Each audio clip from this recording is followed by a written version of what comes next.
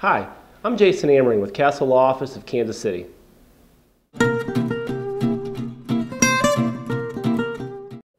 People often wonder how bankruptcy can help you with your medical bills. Sometimes when you go in to visit a doctor or you have an unplanned procedure, your insurance doesn't cover all of what's owed on the medical bills. Sometimes you don't even have insurance to cover these bills. Bankruptcy allows you to eliminate all your medical bills and keep your property at the same time. If you would like more information about eliminating medical bills, contact me through our website or call me for a free consultation.